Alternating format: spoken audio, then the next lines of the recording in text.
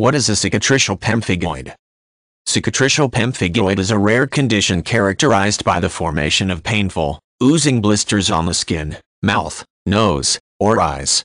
It is considered an autoimmune disorder, meaning that the body's own immune system mistakenly triggers inflammation and blistering on otherwise healthy tissue.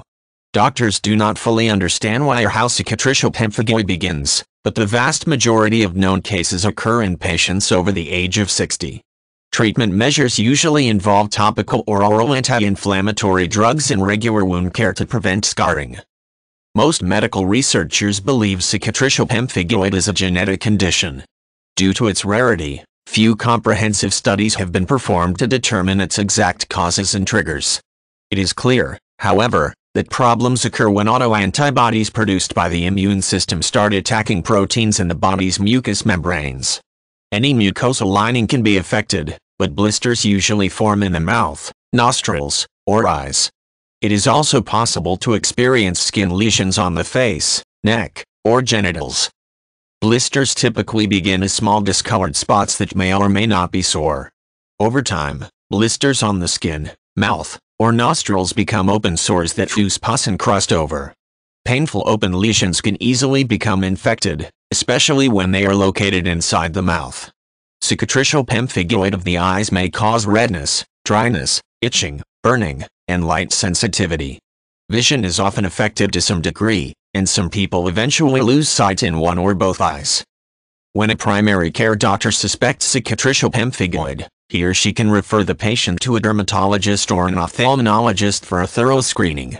A specialist can collect blood and tissue samples to check for the presence of specific autoantibodies that suggest cicatricial pemphigoid.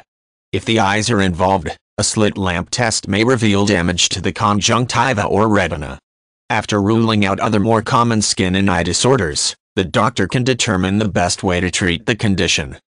Cicatricial pemphigoid cannot be cured, but doctors can usually provide symptom relief with medical or surgical care. Skin, mouth, and nose lesions are usually treated with a prescription topical ointment to numb pain and dry out blisters. Oral corticosteroids may be administered to ease inflammation and swelling. Large, painful blisters may need to be aspirated and dressed with medicated bandages. Patients with eye problems may respond to oral medications and eye drops, but surgery is necessary in many cases to prevent vision loss. If blisters are present on the eyelids, a specialist can aspirate or excise them to prevent eye irritation. When the eye itself is involved, a lens replacement procedure is often needed to remove the damaged lens, clean out blood and damaged tissue, and insert an artificial lens.